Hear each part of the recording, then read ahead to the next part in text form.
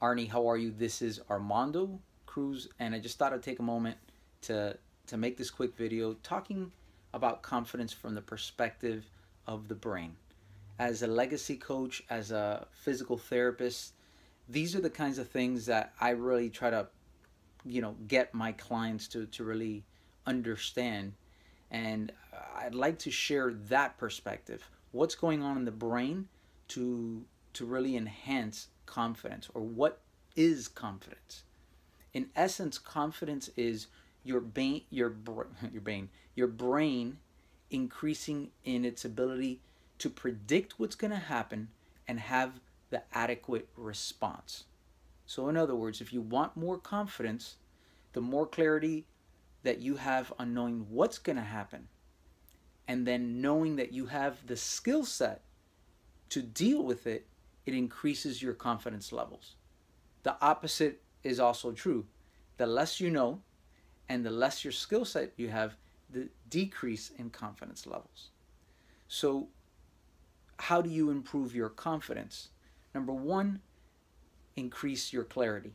The more clarity you have around a situation, around anything, it gives you a better idea, crisper picture of what's going to happen, which gives you a better ability to decide whether or not you have the skill set to deal with it properly, effectively, and efficiently.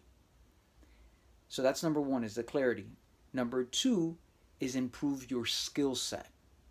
The more versatile you are in different areas, whether it's physically, mentally, spiritually, emotionally, the greater chance you'll have the tools necessary to deal with upcoming situations.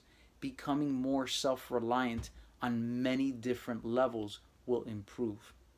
But none of that matters if you don't have the clarity beforehand. And again, if let's talk about that person that you've known that seems to be confident no matter what in like the most dire situations that they really can't know what's going to happen. How are they confident? Remember that your mind what you what you perceive to be a reality is your mind's reality and so for some people they've trained themselves and have a certain level of confidence based on how they view the world that allows them to feel in control in the most dire of situations. And so that comes with training and exposure.